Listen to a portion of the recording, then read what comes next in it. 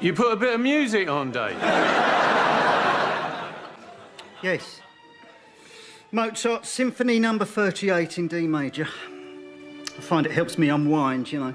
Eases my executive stress. And there are no words to this, Dave. No, it's no words, Trig, no. Sort of instrumental. Raquel, I'm giving you two minutes. I'm going on my own. God, dear. What's this? It's Mozart's Symphony Number 38 in D major.